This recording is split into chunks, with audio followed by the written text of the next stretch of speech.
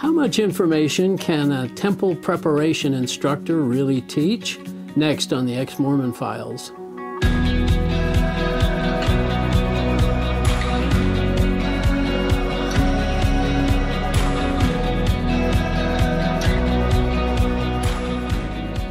Hi, and welcome to another episode of the Ex Mormon Files. I'm your host, Bishop Earl, and I appreciate you joining with us. And today we have Josh Hatch, who's been willing to come and share his story.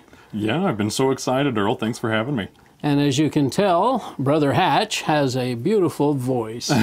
and you've done some radio, is that true? I have, yep. I've yeah. done a couple years of radio. I kind of like my current job a little bit better. Do you? yeah. Okay. Well, beautiful voice, and I've, I've got this. So, uh, anyway. No, it's great. Yeah. So, where are you from, Josh? I'm from Salt Lake City, yep. Born and born? raised here. Yeah, where'd you go to school? I went to Cyprus High. Oh, okay. All right. And born into a LDS family, were you? Born in very, the covenant, as they say? LDS, yep. Really? Born into born into the covenant, yep. Yeah. Um, in fact, I'm the first one that I'm aware of to have left the LDS faith since the time of the pioneers. Wow, you were mentioning so. some names before. Uh, who, who, who are you related to? Yeah, so I'm related to uh, George Q. Cannon is one of the one of the main right. ones that yeah. I'm related to, yeah. and several others all the way up to uh, Brigham Young. Well, they were polygamous. They were. Yep, yeah. I come from polygamous stock. Isn't that funny how we kind of have a pride in? I mean, I used to. You have a pride in the fact that our ancestors were polygamous. Yeah, our ancestors were. Yeah, they pulled the handcarts across the plains. They suffered beyond belief, and it's it's really interesting to kind of look at it now and go, you know, the, although their faith was was pure because they were doing everything they can, but yeah. what they believed in might not have been that correct. Yeah, funny how that is. But you're active, I guess, as a young man and primary and Sunday oh, school yeah. and yep, went through everything. priesthood and everything. And yeah, so I started going through. I had um, a lot of questions growing up. I had a lot of about know, the concerns. church. Yeah, about that about the oh. church itself. You talked to dad and mom and dad about it. Or? Yeah, I would I would ask questions, and they would you know do their best to kindly answer. Um, one of the biggest ones was when I was about 12 or 13. Yeah. I was sitting in class and someone said something about multiple gods, like uh, who God was a God, who had a God, who had a God, who had a God. And I was sitting there and I was going, what is this?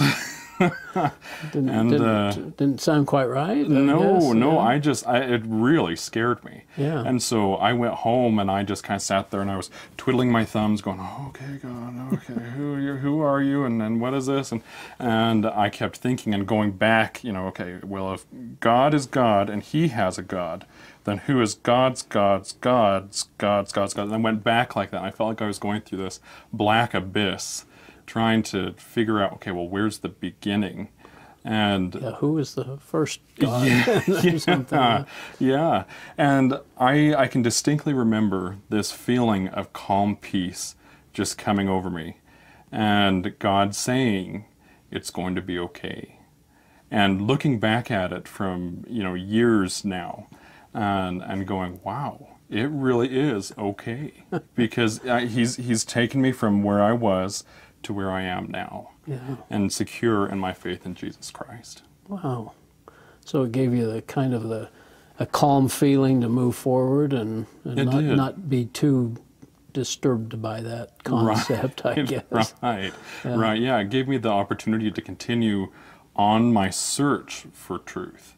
That's yeah. interesting as a young that young that you would have such a deep question about things and but you went to seminary I did. In fact, you ended up being the seminary president, or what do they call yeah, that? The, the, seminary council president. Council. Yep, I was in and that's there. That's fairly uh, elite, or I mean, there's very few that get to do that. Oh, Only yeah. one each year, of course, and Yep, you have to be year. recommended by what your bishop and stake bishop president. and the stake president, I think. Yeah. yeah. and so they recommended me, and I was made that. And I didn't really know what I was doing. I just knew that I liked people, and I was just oh, okay. Here we go, guys. We're gonna go down there and you know go talk to people. But yeah. you know, and I don't know. I it was it was an interesting experience for sure. Well, good. And then, any other questions come up during that seminary time at all? Oh, there was so many questions when we started. Really? Yeah, when we started studying um, I would have different thoughts and different questions, and, and the specifics I can't really remember right now. But I would ask questions and they'd either give some kind of offhand remark or, or, or something to kind of dismiss the question. Yeah. And I just kind of, oh, well, uh, okay, yeah, you know, that's fine. Probably sorry they made you the president. maybe. Yeah. All these, they don't like questions, too many questions. no, no, no, they don't. You know, it's, it's a bubble that we live in for sure. Yeah. So uh, you end up, uh, after high school, what happens? I went on a mission. Went up to, where'd you go? I went to Billings, Montana. Okay. So I, yeah, I went out there. It's a whole different country out there, and I love it. Yeah. um, but I I served faithfully out there. I was I've always been kind of wacky. Um, throughout my time, even growing up, I, I played the organ. I'm an organist, Oh. and so I played the organ for a Catholic church.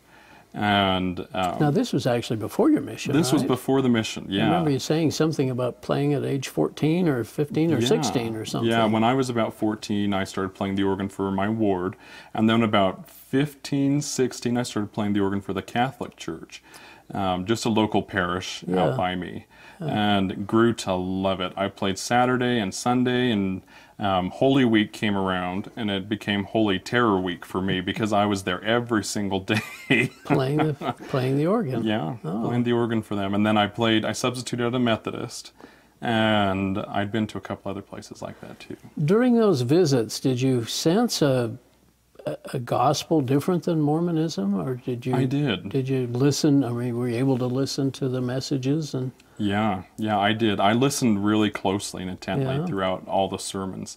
Um, I would listen as the, the pastor would get up and he would talk about Jesus. And every single um, every single Saturday or Sunday, he was talking about Christ, and would share stories directly out of the Bible.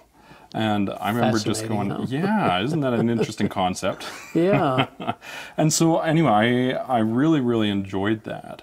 And um, in fact, the pastor there, the father there, gave me a little rock um, with a cross in it one Christmas. And he knew that I was getting ready to go on my mission. Okay. And so um, he said, I want you to take this with you everywhere you go. Just keep it in your pocket because I want you to know that we love you and that we care about you and we're praying for you.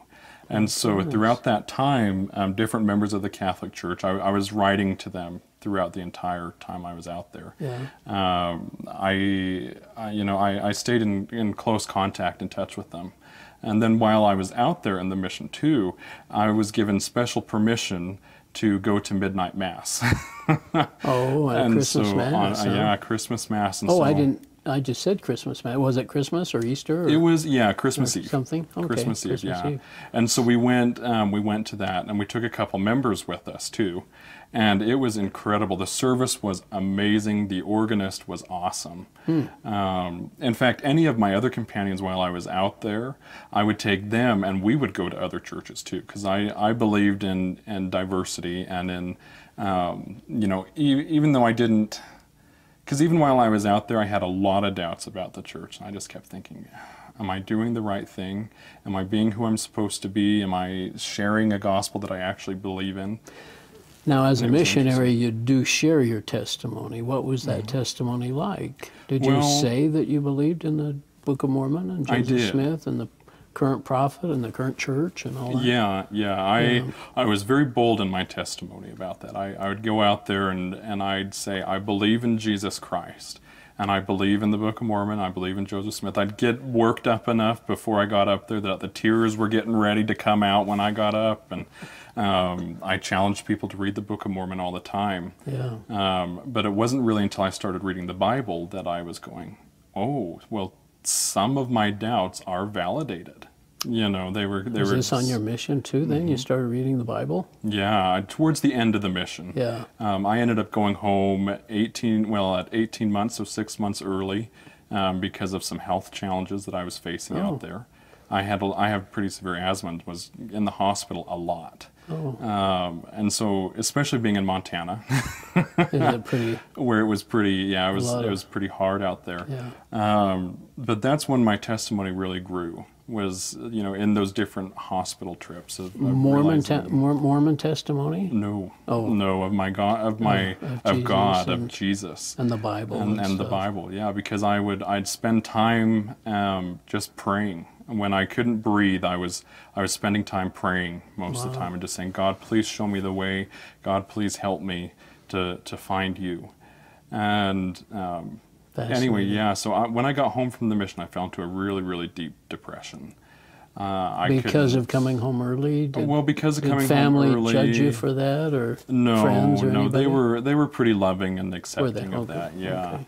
Um, but when I got home and, and that depression hit, it was mostly because of the. I mean, it, coming home early was hard, but also the, um, you know, just the health issues, really. Yeah. And so, anyway, I there was times when I couldn't even get out of my bed, and my doubts haunted me. It was just horrendous. It's a rough time, huh? Yeah, I mean, I, I would pray and beg God, please let, answer this question, or what's what's going on with this, and um, even looking. It's amazing you'd have this kind of. Well, yeah, because it was just. I mean, I was questioning everything. There was even a point where I said, "Okay, well, is there even a God?" Because Yeah. you know, I got to that point of, well, okay, well, is there really a God? And and that was reaffirmed very quickly. well, that's good. you know um, and so there was anyway so uh, weeks go by months go by and i get this temple preparation calling and they said well you're back from your mission so you need to you need to have um, a, calling, calling, yeah. right and so i got in there and i it was like oh what am I going to teach these people? What am I what am I supposed to be helping these people with? Because of course everything that's in there you're not really supposed to say. Well, yeah, that's why I was uh, kind of joking or saying at the very beginning, how much Oh, can you yeah. really teach? Because uh, I mean, I know the I taught the curriculum, so I know what. Yeah, what you get that single pamphlet and Yeah. you go through that and Yeah. well, you know, God's done this and this is what this is and everything in there, but none of that's correct.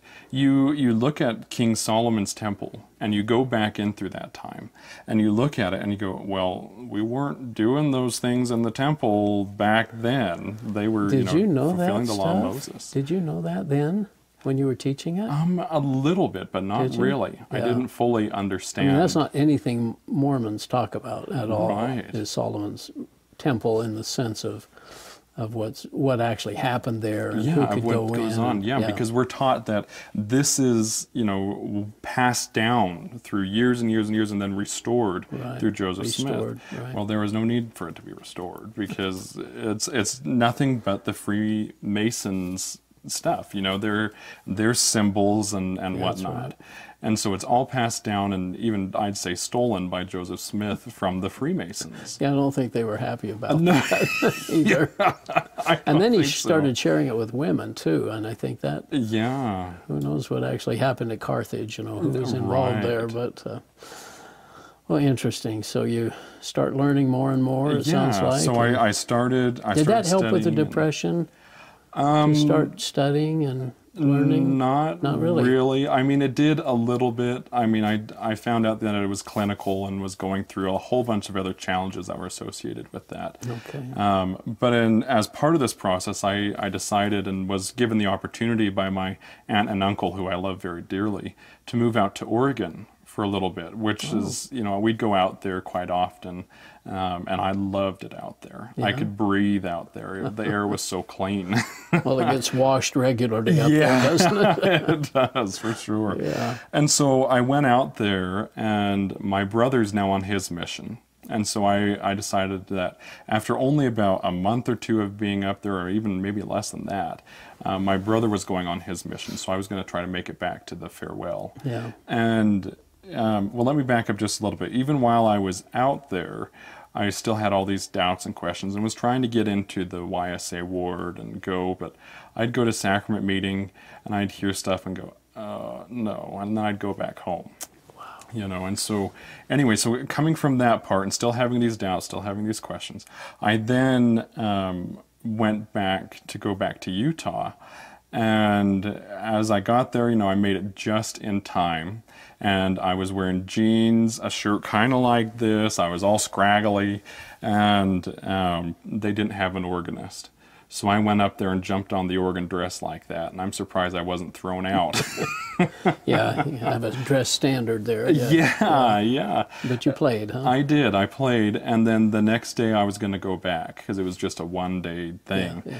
And so as I was going back, I, my car broke down and died in this little tiny town, um, just in just past. Uh, oh, I can't remember exactly where it was, but anyway, I in I, Idaho or Utah? no, or? in Oregon. Oh, Yeah, in it was in Oregon. Oregon. Okay. And um, anyway, my car died there, and so I was towed. And long story short, on that end, I ended up in this hotel for three or four days. And um, While the car was being repaired. I guess. well, yeah, the car's never been repaired Oh, since. It's okay. God kind of. It, it was kind of like a Jonah experience for me. God just kind of he. I I tried to run away from my problems with the LDS Church, and God pulled me back and said, "No, you gotta pay attention." and, that's, how he did it. Huh? Yeah, well, and then when I was I was sitting in I was sitting in my hotel room and I was praying and just thinking, oh, okay, God, I just and I just bought this car too on top of all that, Oh, and so I started I started praying and that's when I found that Bible. This Bible, I opened up the dressing drawer and there was this Bible by the Gideons, that was left Bible, there. yeah. And so I started studying and, and kind of reading and and um, I didn't you know fully understand what was going on. But even in the first few pages, it asks, you know, are you alone, depressed, addicted, stressed, cheated, experiencing conflict, and all these different scriptures in there. And so I just kind of started fiddling around and opening it and reading it, and and it's not the King James version, so I could understand it. Isn't God fantastic? I mean, how He would uh, direct your Yeah. life like that and have you get into that. So you started studying, and I did, and I, and I started reading, and when I, I ended up moving back to Utah shortly after that. Turned, you I took the book with you. Yeah, and I took, I called, I called the desk, and I said, "Hey, can I take this?" And they go, "Oh yeah, absolutely." And Please. and so yeah, and so I, I took this home with me, and when I started, when my dad caught me reading out of it, he goes. How come you're not reading out of like your quad or your King James version? Right. And and I said, well, you know, the LDS Church is, does, it does not say that the King James version is the only Bible. They've got a variety. If you go into the church distribution center, they got them from, you know, all over the place. Oh. Um, at least that's what I had thought at the time. Yeah. And so I started um, really studying and really reading out of it, and was going, "There's there's something missing. There's something wrong." And um, I was still at that time. I started playing the organ again for the Catholic Church, and and was still out and stuff. And um, there was a day that I, I drove by this Lutheran church, St. Matthew's, here in uh, Salt Lake City in Taylorsville, and I just got this feeling that said, "You need to go in." And so I, which, you know, it wasn't too unusual. I mean, I'd been pulling missionaries into other churches throughout that time. Yeah, they called me the J. Golden Kimball of the mission because I've always loved coffee, even though I wasn't Oh, supposed really? to have that. Oh, yeah. And so I'd go out there and, well, elders, I think we should get together for coffee hour tonight, you know, and they just, Elder Hatch, you know. but anyway, and so uh, um, I, I went into St. Matthew's, and it was as if I'd walked through the gates of heaven. I mean, I just got in, and, and God's grace was just so overwhelming and so so strong that I mean, I I almost started to cry. I just was sitting there going, okay, this is where I'm supposed to be. Wow. This is where I'm supposed to be. And so I started listening and and whatnot. And now I kind of go to a non-denominational church, Life Church. Oh, you do now. Mm hmm.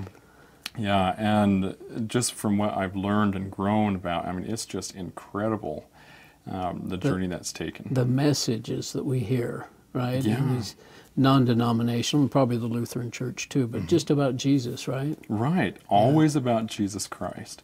Now, in my journey out of Mormonism, I my depression was out of control, but what didn't help was the persecution that I suffered.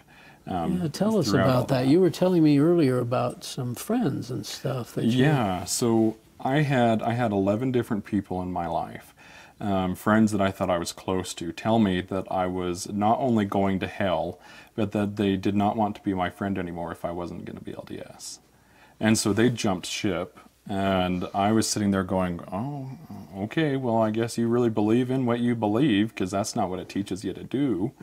You know, and Very conditional love. Right? yeah, very very conditional love and you know my my mom and my dad of course were devastated and and they suffered incredibly um, because of their doctrine their teachings that they had and in fact my mom wrote a letter telling me that i wasn't going to be in the celestial kingdom with them anymore and you know basically saying well i guess god has to give up some of his children and i don't want to do that to mine but if i have to i will. And She really believes that. yeah she really really believes that. I mm-hmm. and according to them and according to their doctrine i'm going to outer darkness. Yeah, probably. yeah. Because you've had the light. yeah because i've had the light and then i've i've said well no this isn't you know this isn't true and so according to them i'm going to outer darkness Yeah. and so she not only gave me this letter but she read it in front of my entire family To you. um, mhm. Um, my grandparents on my mother's side started sending emails out to all of my aunts and uncles and to other people, encouraging them to pray for me and uh, you know whatnot. And my mom reached out to my local bishop and had him um, contact me for interview. And so I went in for this interview, and he kind of shredded my guts. oh with all this stuff about the Book of Mormon and Doctrine and Covenants, and telling me that I need to be really careful because I might be going, I might be led away by Satan, you know, and, and everything. I mean, I, I experienced the extreme ugly side of the LDS Church. Did you feel alone? I did completely. Yeah. Um, it was it was really really really bad. The only person that was really there for me was my now fiance, um, who was very encouraging and loving, and who was never LDS. She couldn't understand what was going on. um, but even at my baptism, uh, while we were there, was on uh, Easter Vigil, and uh, uh, it was just the uh, you know water on top of my head. I didn't want to be fully immersed because that was too LDS to me. Yeah. And so anyway, and so it was just this water on top of my head. But I invited all my family, and I was surprised that they came. Really? They did come, and um, anyway, well, after I was I was baptized, um, I felt this really good feeling for about half a second, and I turned around, and because something caught the corner of my eye, and my mom was just about on the ground, bawling her eyeballs out.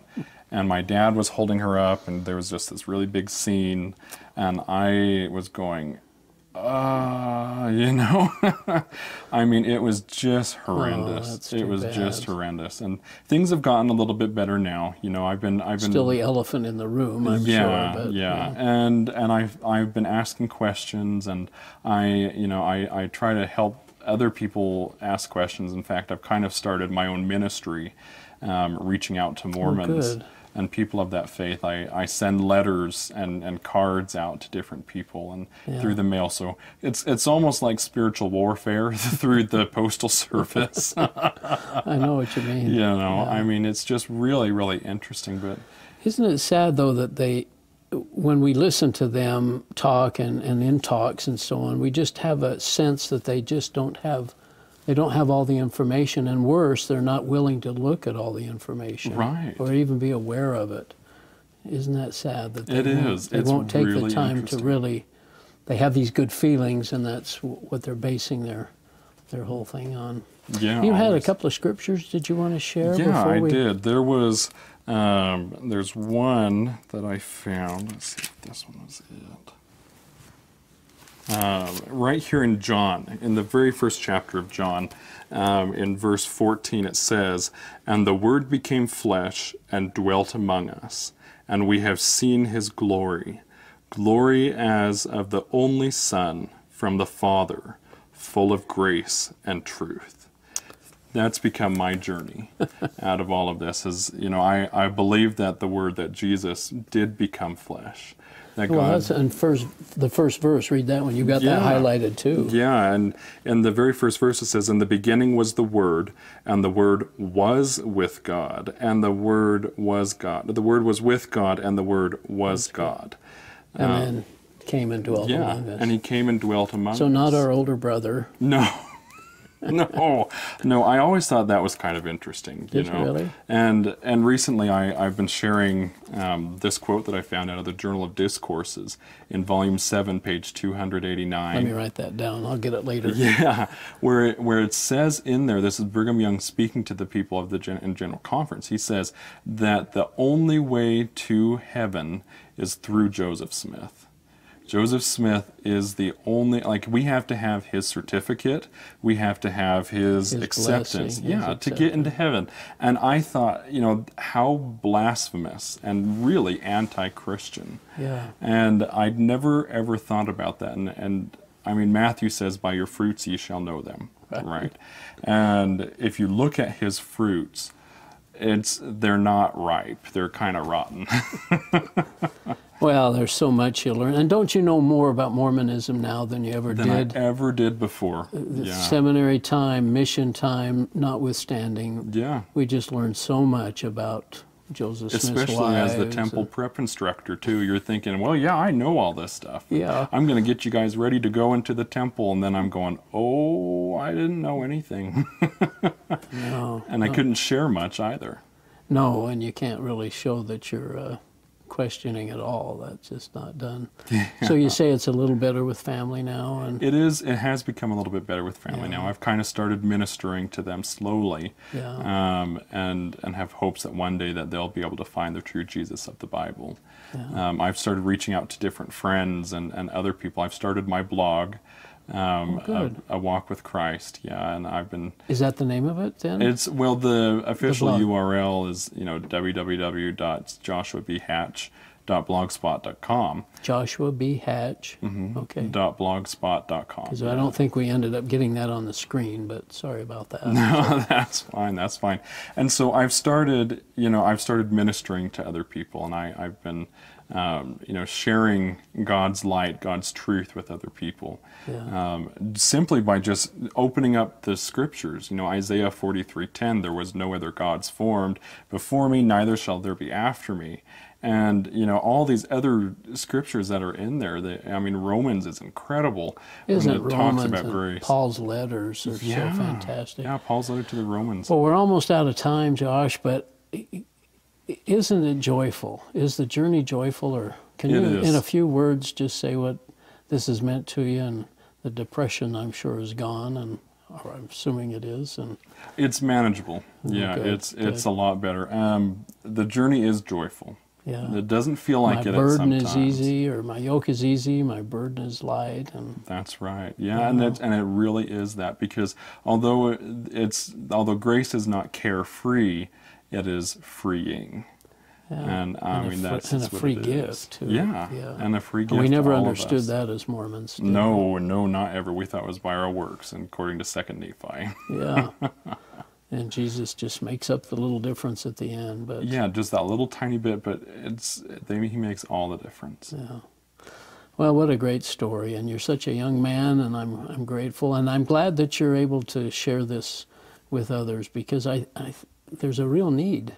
And I think there are people, I mean, you, you had questions at your at different ages, and I think others have questions about the, the church. They don't maybe verbalize them, but when, if they can get exposed to those things or pick up a Gideon's Bible or Right, something yeah. and start really reading what the Bible has to say and who Jesus is. So, Well, and that's the other incredible thing is that we have all the proof and all the evidence, thousands and thousands and thousands of manuscripts. If there was ever an error, we would find it and we would know because we have stuff to compare it to. you didn't know that either, is it? No, I had Saint, no idea. No, I thought that Just thought eighth article of faith. Yeah. yeah, Not translated correctly. yeah. Well, Josh, thanks so much. Appreciate it. You're, Absolutely. You're a good kid. Thank you, And thanks for joining us on the Ex Mormon Files. See you later.